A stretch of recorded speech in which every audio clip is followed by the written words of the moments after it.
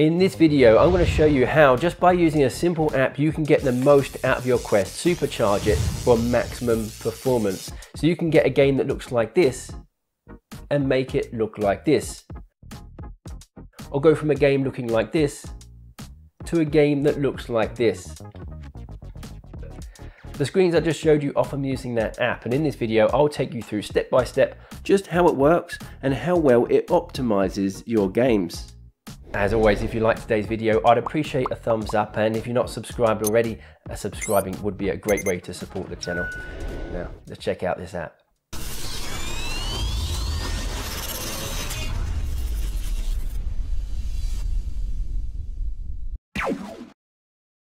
The Quest Games Optimizer is made for the original Quest, the Quest 2 and the Quest Pro, although in this video I'm only testing it on the Quest 2.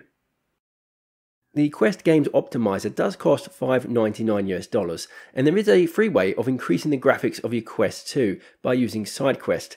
I'm using the desktop version of SideQuest here, so it might be a bit different for different versions, but I go into the device settings and tools. Now the Quest 2 has a default texture size of 2048, so choosing a texture size above that will give you a noticeable boost to the graphics. However, the Quest Games Optimizer, I think, is by far the much better tool compared to SideQuest. There's a lot more functionality, a lot more things you can play with. You can create individual optimization profiles for each game, and it also acts as an app launcher. So, in my opinion, unless you're really strapped for cash, the Quest Games Optimizer is well worth the price and the way to go if looking to optimize the graphics and performance of your Quest 2. Let me start by showing you the Quest Games Optimizer. So you go into unknown sources and you can find it there once you've installed it. From here you enter in the email address that you used to purchase it and there's a few steps here showing what you need to do to get it working properly. I'll go through some of those at the end of the video, but first I want to show you how it works. We have our game profiles here, but before we go into those, let me show you the general settings. You have this optimization toggle switch here. If you turn it off, that'll mean this will just act as a simple app launcher without the optimization features, so you probably want to leave that on. There's also auto detection, and that's a really cool feature. It means that you don't have to launch your games through this optimization app each time. You can actually launch them from your games library like normal, and it will still apply the optimization profile to that game. Then there is shortcut, which turns the Quest Store icon into a shortcut for the Quest Games Optimizer. The only thing is that it will disable the link to the actual Quest Store. If we go into the main home screen, we can filter the games by all, and that shows all of the games that you own with pre-mode profiles automatically applied. Now, some of the games won't have any pre-mode profiles available, and that's because the Quest Games Optimizer has over 400 pre-made game profiles, but not every game will have a pre-made profile for it. So if we look at some of these pre-made profiles here, you can see some are made to either save battery with the battery icon, increase performance you can see with the rocket icon, or render the best graphics as you can see the HD and HD plus icons. So depending on what you want to do with the game, you get to select a specific profile. And then you can optimize the game pretty much how you want. Now, you might find that some games have a limited number of profiles or might not have any profiles associated with them at all.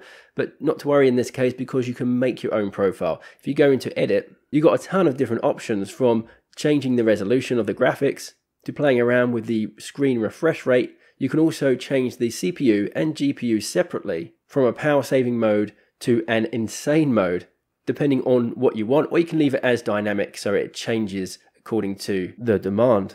You can also do the same thing for the frame rate too, which goes from dynamic to very high. So as you can see, this is why the game's optimizer is far superior to SideQuest, because there's a lot more functionality here. So let me show you how one of these profiles looks in game. I'm going to play Demeo and I'm going to launch it from the games library. Like I said, you don't have to go through the app if you enable the auto detection option in the settings. So the screen on the left has the HD Plus profile applied. And if we pause a screenshot just here so you can better see the differences, you can see that Sorcerer is a lot clearer in the left hand screen as is the model itself. It's just a whole lot crispier.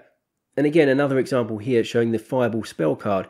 You can read the text better and it's a whole lot less blurry on the left hand screen that's been enhanced by the optimizer compared to the right hand screen. But some games that require quite a bit of processing power, like Walking Dead Saints and Sinners, you might not have much room for graphical improvement. And by that I mean you probably could improve the graphics, but not without causing some performance issues That is making the game run really slowly or stutter and lag to the point where it will affect the gameplay. So in the left hand screen you're seeing here has been enhanced with the HD profile, not HD plus but HD and the right hand screen is just Walking Dead Saints and Sinners without any profile applied at all. And it's not a huge amount of noticeable difference. But like I said, you can make your own profiles for these games, whether a profile exists for them or not. I thought since I didn't see much difference with the HD profile with Walking Dead Saints and Sinners, I thought I'd make my own. So as you can see here are the specs for the HD profile. With my own profile, I'm going to just max everything out. Now I expect this to run like crap, but I just want to see how much of an improvement it makes with everything on maximum settings GPU, CPU, resolution, and frame rate all set to the maximum. And as you would expect, the game runs really slow and laggy, but you can see the difference here in the gun texture, for example, a lot sharper on the left when compared to the right. Or here with the zombies. The textures are just a whole lot crisper with the game optimizer profile applied. Now, I wouldn't be able to play the game like this just because it is too laggy but I'll definitely go back and play with my personal profile to hit that sweet spot between performance and visuals.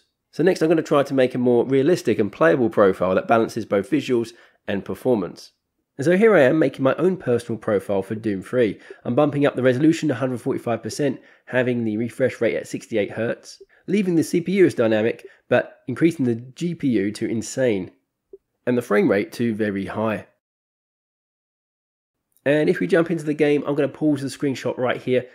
You compare the left hand side with my personal profile to the right hand side, you can see that the uh, textures on the man's face in particular are a lot crisper on the left when compared to the right. So it can make a difference even for those games that already look quite impressive on the Quest 2 like Doom 3.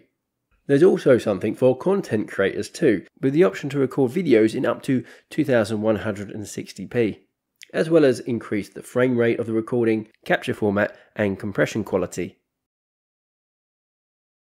You can get your recordings to look really, really good. Just be aware that by increasing the quality of your recording, you'll also increase the file size by quite a bit too. And if you're running the optimizer in combination with making a recording on the higher settings, you could run into some stuttering and lag issues.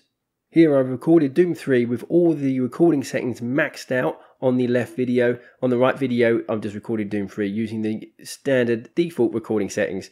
And the biggest difference I can see is the recording on the left that's been optimized seems to run a whole lot smoother than the recording on the right. There's a couple of other small things to be aware of with the Quest Games Optimizer. You can change the apps from a, list format to a tile format depending on your preference you can update Quest Games Optimizer from within Quest Games Optimizer itself. And when you create a profile that you think works really well for a game, you can send it to the developer and they might add it to the 400 plus profiles that are already on the list. The setup and installation instructions for Quest Games Optimizer is over on the webpage here. There's five different ways to do it. I'm not going to go through each of those ways. I think it's outlined pretty clearly on that webpage, which I'll link in the description below. But some important things for you to be aware of. The whole process requires you to make a developer account, sideload Quest Games Optimizer onto your Quest 2, disable Do Not Disturb mode from your headset, which is pretty easy to do. But, and here's the thing that's a bit of a drawback, is that you have to make sure you've enabled ADB wireless connection in order for Quest Games Optimizer to work. And every time you close down your headset, that needs to be re-enabled. There are ways around it. You can leave your headset on standby mode, so that you're not turning it off and on every time and don't have to re-enable it each time. And you can do it via SideQuest using the app on your phone, so it can be quite easy to do. But I just wanted to mention that, and I would recommend checking out the installation instructions first, which I'll link in the description below, just to make sure you're happy with going through all of those steps before you purchase the Quest Games Optimizer. So there you go, there's a really handy app here that will help you get the most out of your Quest 2 games. Let me know what you think of it in the comments below. If you have liked the video, I'd appreciate a thumbs up and your subscription would really help to support this channel so I can keep creating content like this for you in the future. As always, thank you for watching and I hope to catch you in the next one.